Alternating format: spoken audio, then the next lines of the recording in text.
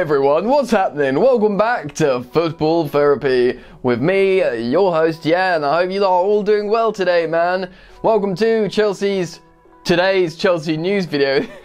this isn't Chelsea's anything, this is my Chelsea news video where I'm going to be talking about dos stories, un, dos, tres, no, tres stories, tres stories, trois stories, and any other languages, essentially three. First being, Michy Batshuayi looks like he could be out of Chelsea this summer, with perhaps a likely location of West Ham. Could he be, you know, helping out slash replacing Sébastien Haller? Well, certainly the links are there. What happened to Batshuayi, eh? I want to have a quick word on him and just let you know his record is still pretty immaculate.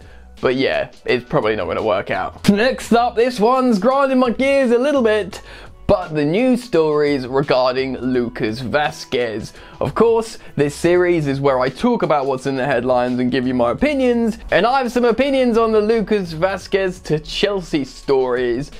Ugh. And something that I left out about a day ago that I wanted to get in, the whole Andre Onana thing. Um, apparently there is an agreement with the club, with the coach Ten Hag, that if a certain price can be met, the player will be released. Of course, he's heavily, heavily, heavily linked to Chelsea Football Club, and he did that social media post as well, which was a kind of like, goodbye, Ajax.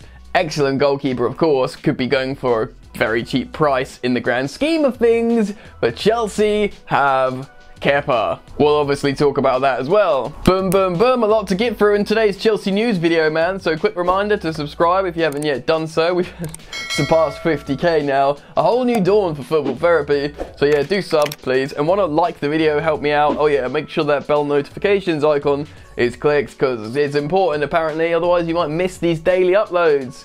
Yeah, alright, let's get on with it. Let's start with Michy Batshuayi, man. He's one of those like peculiar stories of Chelsea Football Club. You know, the player that came into a club that sort of, you know, he's a bit of a cult hero, scored the goal that won Chelsea the Premier League under Antonio Conte, scored a goal in the Wanda Metropolitano away against Atletico Madrid in the Champions League, which was their first loss in that stadium, I believe, to Chelsea Football Club. Um, great goal from him there.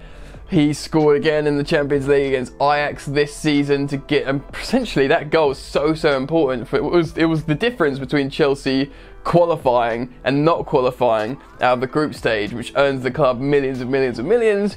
That was Michy Batshuayi's goal. He's sort of been a super sub, I guess. He comes on, he scores, he scores in like cup competitions. I tweeted this out earlier, pretty much saying over his entire Chelsea tenure, he averages a goal contribution every 78 minutes. For the whole of your tenure, that's a pretty amazing return if you think about it because um, he's still, you know, he's played a few thousand minutes. I know that's not much in the grand scheme of things since he has signed, but damn, bro, that's pretty good. Still, Lampard, Sarri, Conte, none of them fancied the Belgian. Sure, he's two-footed, can score with both feet. He's an excellent finisher and he's very strong. He's quite fast as well. It sounds like it all should be there. Like he's a big figure. What? What? Why does no one want him? It must be something to do on the training pitch, right? It's got to be something. He had a good time at Dortmund. He even had an okay time at Palace. Obviously, didn't go very well at Valencia on all these loans. But it might be time for Chelsea to cash in because they could still make money for the 26-year-old in his prime. Man, they could, you know, and he's got he's Belgium international as well. So, who's going to buy Michy Batshuayi? Well, apparently West Ham have been heavily linked. I'm not sure how excited West Ham fans are at the prospect. Of course, Palace fans would have him back in a second, I imagine. And the sort of mid-tier, lower echelons Premier League clubs as well. Would he want to go back abroad? Maybe. Personally, I think he should go back to Ligue 1. He could probably get a gig at the top echelons of Ligue 1 in French football, I imagine. Obviously, he was very, very good for Marseille before Chelsea purchased him, so maybe he could you know, go back, go play for a Lyon, replace Moussa Dembele, and the peculiar circle of life of strikers continues. I don't know. Still, how will Chelsea fans reflect on Michy Batshuayi if he does indeed leave this summer? You let me know in the comment section below. Right, next up, let's talk about Lucas Vazquez of Real Madrid. Yes, when you think of Vazquez, you're like, wow, another one of those up and coming Real Madrid youngsters, you know, like Asensio, Vazquez, they're all kids coming through the system. Oh, what, he turns 29 in like a couple of weeks or something? ah, I'm getting old, man. So he doesn't play much for Real Madrid. Uh, nothing's really going on with him over there. Very few goal involvements. Like I said, getting on a bit now. And although I think he likes the idea of retiring at Madrid, making loads of money, and hopefully actually playing some football, which he hasn't really been doing, he said the Premier League can be very attractive. And when he says very attractive, he's probably thinking, ooh, money in England. But then again, you should get loads of money at Real Madrid. Still, point being, maybe he thinks he can get like a five year contract or a four year big bumper deal at one of the top clubs in England, which is probably a little bit wishful thinking, Lucas. And for some reason, the headlines are spitting out links with Chelsea Football Club. Uh, Chelsea should capitalise on Real Madrid's situation with Lucas Vazquez. While Chelsea are still perhaps looking for this additional wide forward to rotate with the others at the club, Lucas Vazquez, for my money, ladies and gentlemen, is not the answer. Sure, he may have quality There must be a reason why Real Madrid, you know, have him or kept him around for so long. But come on, I know Chelsea wants seniority, and you know you all know that I think Mertens would be an excellent signing on a free free purchase, free transfer for Chelsea, and I've explained my reasons for that. Go back and watch previous videos if you don't know.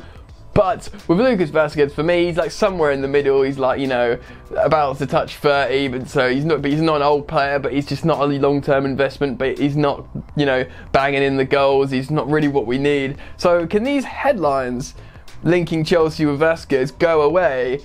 Especially if they're true, because I just don't want any of that at my club. Thank you very much. I mean, you might feel differently about the player. If you do, get down in the comment section below and oh yeah, just, just, you know, just let me know about it. Right, let's talk about the main story for today. Andre Onana of Ajax, of course, a very exciting, talented young goalkeeper. We saw exactly what he can do between the sticks against Chelsea Football Club in the Champions League. Man is a crazy shot stopper. Obviously very, very close friends with Hakim Ziyech, new Chelsea signing, and would love probably, to follow him to Stamford Bridge. Now, at the end of the Eredivisie, when it was cancelled, he did a social media post of the empty Johan Cruyff Arena saying, The journey ends with an empty stadium. The journey ends. It is over, bro.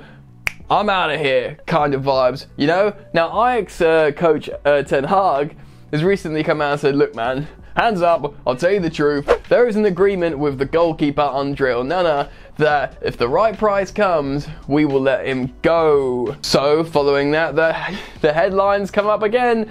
Chelsea, Andre Onana. Chelsea, Andre Onana. You dig? And there's also a rumoured price tag of 35 million pounds. Now, you know what, man? That's pretty darn good. Less than half of Kepa Arrizabalaga, and he's put in some big high-profile performances in the Champions League, etc. And maybe if there is a little bit of wiggle room, considering the financial climate, what if Chelsea could buy Onana for 30 million pounds? That's not bad is it? But the thing is, it's been highly speculated by journalists around Chelsea Football Club, and from what Kepa's come out and said himself recently, that Kepa will be given a second chance at Chelsea to be the first team goalkeeper.